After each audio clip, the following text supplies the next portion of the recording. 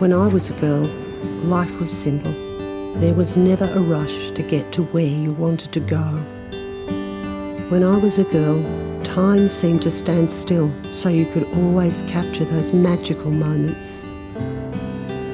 An adventure was no more than five minutes from your doorstep, and a weekend away was like an overseas holiday.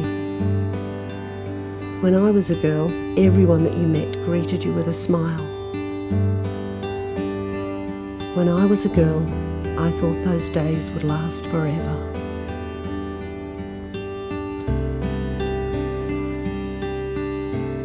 Time may have changed, but the feeling remains the same.